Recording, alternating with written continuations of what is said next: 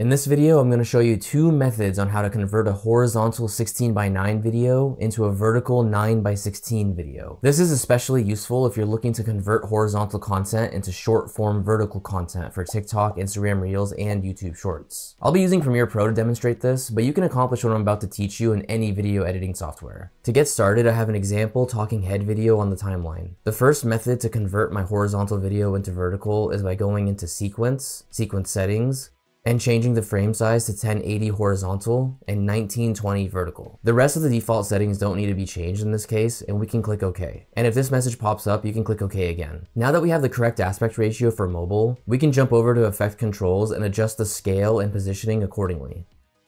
The second method, which I can demonstrate in this new sequence that I have ready, begins with right or double clicking the clip and clicking Scale to Frame Size.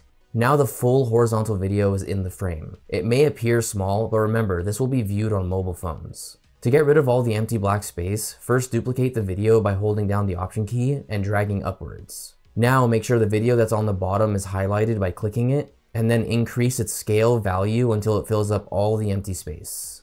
Next, go over to the effects panel and search for the word blur, and drag the Gaussian blur effect onto the clip at the bottom. Let me know in the comments if it's Gaussian blur or Gaussian blur because I've heard them both being used. Now that the effect has been added, jump back to effect controls and increase the blurriness of the bottom clip to your liking. So you can choose between cropping the video to fill up the entire vertical screen or displaying the full horizontal video and filling out the blank space. It's all situational and there's really no right answer. From here, I suggest continuing on to either this video for the best vertical video export settings or this video on how to create an infinite loop for your short form content to boost retention. I'll see you there.